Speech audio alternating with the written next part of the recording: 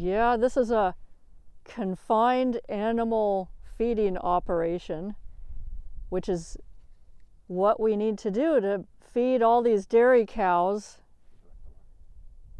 because they're lactating and they need tons of calories. I mean, they're like as much calories as an athletic runner to produce all the milk that we require to suck out of their bodies.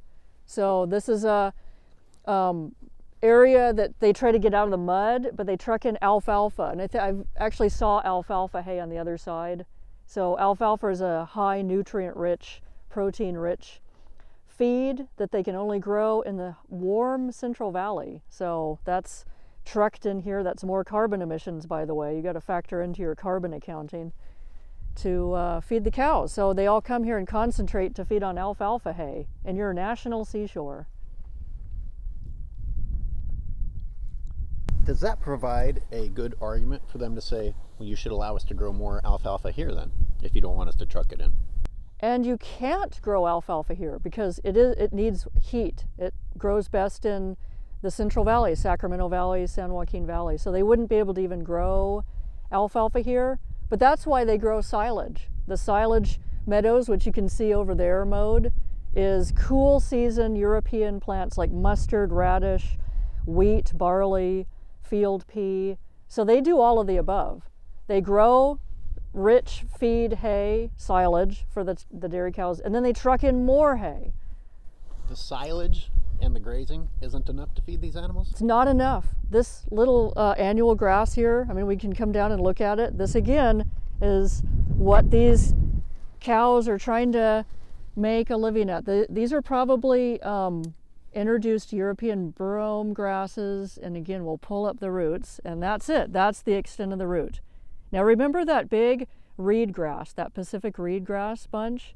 Yeah. We couldn't pull that up, but this is this is the extent of the carbon. And I don't see any of those mosses and lichens. These are all little weedy Yeah. um, European forbs. But look at this soil. There's just nothing there. It's compacted. There's nothing growing on it, and this is not a diverse little micro habitat with all the soil crusts. So this is just not enough to feed these 1,500 pound dairy cows. It's they need more. But is this at least a native plant? No, this is a weed. So it's not enough and it's not native. Correct. So this is a double negative, right? Double negative. And we even have a triple negative in that we have this plant right here. There's different plants in here, but this is the beginnings of the poison hemlock. And this is a noxious weed from Europe that is inedible to cows, but it's starting to come up. It'll get um, six feet tall by the end of the spring. But this is not edible and it's a noxious weed. But this is what they're adapted to in Europe. See this cow track? This has compressed the soil. It's not spongy. And look how big that is. And the seeds of these are designed to come in here and sprout in disturbed soil. That's just how they adapted in Europe over Yeah. hundreds of years. Thank you. you. You got exactly what my next question was. So, in these papers that I was just reading, they mention that bare, degraded soil like this actually acts as a seed bed for weeds. Right. And I'm like, okay, but why does that work for weeds and not for native plants? The native plants often have like a completely different seed, for one thing. The native grasses may have a, a very long, big seed that's designed to catch on animal hair and then drill into a crevice in that biological soil crust every once in a while, rarely. But these um, weeds from Europe often have very tiny seeds that are they're adapted to bare soil. They're actually adapted to um, this kind of harsh, disturbed environment that's almost like a, a biological desert. I mean, we can even see little sprouts down here next to this cow track. They're very aggressive. These introduced weeds, this is a noxious weed, the poison hemlock. They're actually adapted to disturbance. And our native grasses are not adapted to disturbance. It's the difference between an old growth forest and a weedy, um, clear cut forest that has weeds invading it. It's exactly the same. Okay, so I'm looking at this and I do see some sprouts. what you're telling me is that none of this is native. This is all weeds that are pushing through this type of ground. Right. These are little tiny weed seeds that are just getting a foothold in this biological desert. We don't see mosses, we don't see lichens, and here's this compressed, hard cow track. Look how big that cow track is that comes and over and over again. This is a cow trail next to the feed lot, and you can see they've chiseled into the soil, they've compressed the soil. There's no moss, there's no delicate lichens, there's no bunch grasses, there's just these weeds, little seeds pioneering into this disturbed soil.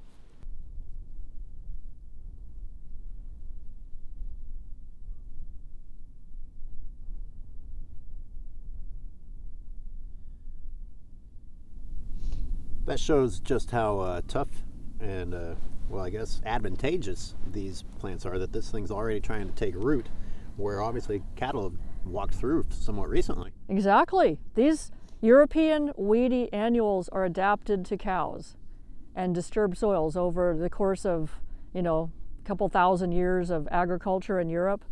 But our native elk and our native seeds, our wildflowers, our coastal prairies, it's like a slower system. It's like an old growth grassland that's not used to this level of disturbance. It's used to Native American cultural burning. There used to be burning here, but that's a completely different process than trampling, grazing, and compacting soil.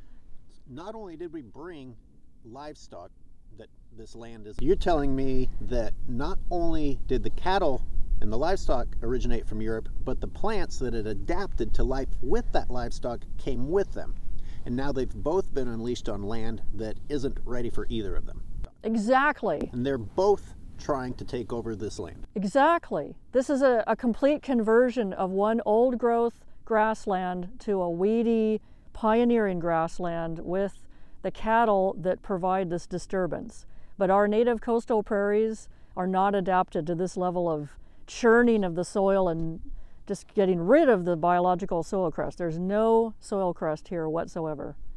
All right, Laura, you are telling me with confidence that there isn't a single native species here next to this uh, cattle pasture. No, these are all European species, weeds that the cows do eat, but they're not native. What is the green in these puddles in this mess over here? This is a, a mud-filled mess with cattle manure, and so there is so much manure here that these are blooms of algae. And this is completely different from uh, biological soil crust. This is a water quality problem.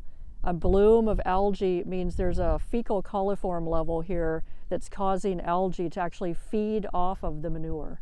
So this is a indicates you don't want to drink that. This is a health hazard because of an algal bloom. Does anything want to drink that? Nothing would want to drink that and be healthy. And so I even feel sorry for the cows having to live in this kind of um, hazardous conditions. What happens to ocean life when this finally makes its way down to the shore? That's a very good point because this contaminated water that has a very high bacterial level will eventually find its way down these gullies and there's um, a lagoon right there and that's the Pacific Ocean, especially when we had a, a rainstorm last night that then washes more of this filth basically and polluted water into our blue Pacific Ocean.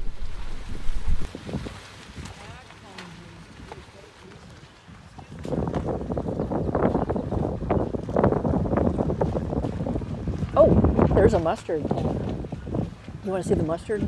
Because that's what's at your foothill zone. That would be fine. This is um, European mustard, which is actually a part of the silage. This is pretty rich in protein and nutritious. Um, it's like a forb from Europe, but it escapes from the fields and comes out here into these pastures. And look how much fuel when it dries out. This is a, a fully mature mustard plant escape from the silage fields and when it dries out it just creates this mass of fuel so this is a weed and if we restored our native coastal prairie you can tell we'd have much less of this dry flashy fuel You don't need cattle grazing or sheep grazing to get rid of this. You need to restore native perennial bunch grasses. So if we look over here, down in the distance, that's silage fields.